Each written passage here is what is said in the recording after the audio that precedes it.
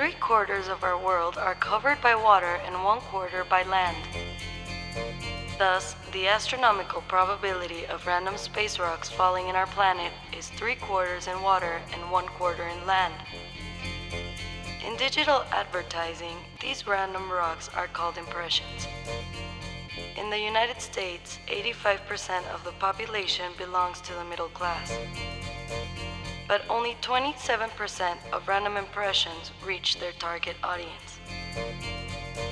In a country with more inequality, the probability of imprecision or waste increases proportionally. Random distribution of impressions tends to asymmetrical frequency and indiscriminate reach. But now you can advertise on the internet with high reach and efficiency similar to those of primetime TV. On and Off Network presents Premium iTime, the PIT system. PIT controls the distribution of impressions on the internet.